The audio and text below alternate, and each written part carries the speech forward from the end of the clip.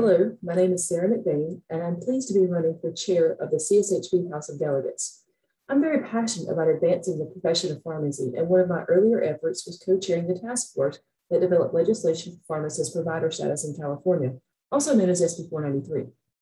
Since that time, I've remained involved and I'm finishing up a year chairing our Government Affairs Advisory Committee. However, while legislative efforts are pivotal for getting things done within our profession, policies are equally important. Policies are statements that guide CSHP, and policies can be aspirational, stating where we'd like the profession and the practice of pharmacy to go. As such, CSHP's House of Delegates is our policymaking body and is essential to the function of California Society of Health System Pharmacists. Thank you for this opportunity to exercise my passion for pharmacy and to work with all of you to further CSHP and the profession.